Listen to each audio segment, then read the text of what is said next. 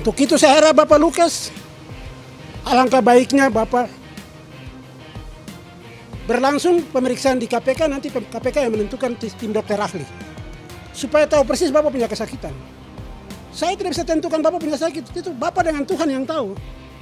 Kalau hari ini Bapak berbohong atau saya juga ikut berbohong, mengatakan bahwa Bapak sakit, Tuhan akan menimpakan kita hukuman yang lebih berat. Akan menimpakan kita hukuman yang lebih berat. Jangan kita buat-buat sakit dengan pikiran dan kehendak kita sendiri. Untuk itu saya pesan Bapak, kalau Bapak sakit, hargai proses hukum, Bapak nanti diperiksa oleh tim dokter KPK yang sudah disiapkan. Bila perlu ada keluarga satu dua mau ikut, silakan nanti bisa berhubungan dengan pihak KPK.